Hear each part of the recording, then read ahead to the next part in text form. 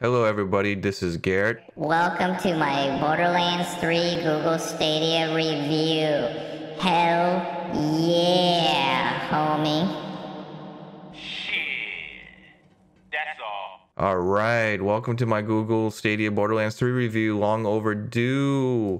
Welcome, welcome, welcome. In this video, I'm going to talk about Google, the Borderlands 3 port on Google Stadia. Like I said earlier, I'm going to talk about graphics, gameplay, how it runs on Stadia, if there's any lag or anything. You will know at the by the end of this video. The original game was released on September 13th, 2019. The Google Stadia port was released on December 3rd. The game got a Metacritic score of 81% on, on the PC.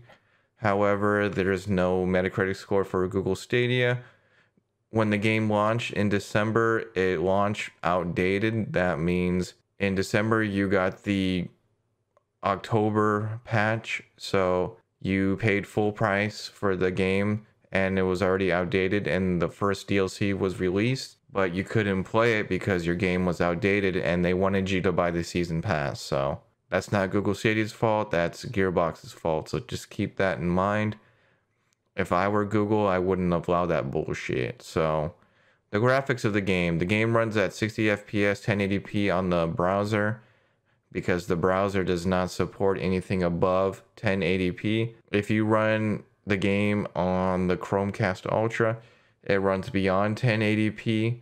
However, the game will lock at 30 FPS. So, if you want 60 FPS on a on the game, I recommend locking the frame the resolution to 1080p. However, when I was playing the game, I noticed a lot of stuttering. So, especially when I was playing as Zane, when I did a lot of special moves or your specials, the game stuttered a lot. Just keep that in mind. This port honestly feels like the console port. You know how it locks at 30 FPS and stuttering. Don't get me wrong, all like all versions of this game have performance issues. This game is not very well optimized even on powerful PCs, so it that's not Stadia's fault. However, I'm just reporting the facts here. So, this is what the performance you'll get on Stadia. Let's talk about the story. The story is absolutely trash. The antagonists are annoying as hell. They're trying to be edgy streamers that just turned out to be annoying. I feel that Handsome Jack did a better job being the antagonist in Borderlands 2. I felt like Handsome Jack had a purpose. I don't feel like the Calypso twins has a purpose. And so as far as the story goes, I think the story is just very disappointing. I honestly just turn down the story, don't listen to it, and just listen to podcasts. Speaking of podcasts, I stream my podcast every Tuesday and Thursday, so go ahead and watch that on my channel. We do this on Discord now because Hector finally got his stuff. So, and we're going to have a guest this week. So keep your eyes out for that. And yeah, just, I just don't enjoy the story at all. As far as the gameplay, the gameplay is very good. I feel that the game, I feel that the game um, it feels like Borderlands th- Borderlands through and through. So if you played Borderlands 2, you know what to expect with Borderlands 3. The gunplay is really good. The shooting is is spot on. You know, the guns now have different firing modes, so it depends on what brand gun you get. Expect different firing modes. Expect guns that will just explode after you reload and expect a lot of guns. So the co-op has improved. You get the old classic co-op where you have to share your loot.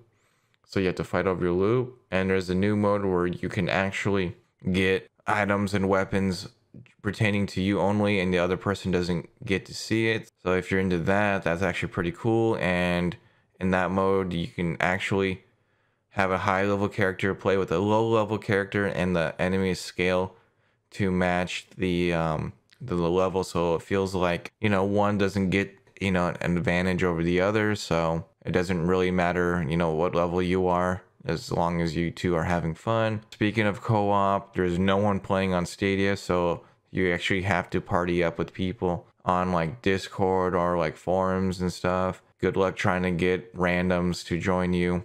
You will not do that. So, because Stadia has such a low player base already, so good luck getting people to actually join your game randomly. So, okay, what do I think of the game? I don't recommend it. I give it a thumbs down or low rating if I were to give games number scores, or low stars if I give games stars or golden bananas. The main reasons why is just the game does not perform good, especially on Stadia, and it also doesn't perform well on PC either, the platform that I played the most on. So, the story is very disappointing. Do not like the direction where they, the direction of the story, how they went there. The gameplay is good, but I can't recommend a game just based on the gameplay. So, let me know what you guys think of my review. Please rate, comment, and subscribe. And join me on Console Gaming Radio every Tuesday and Thursday. And I will talk to you guys later. Bye, homies. See ya.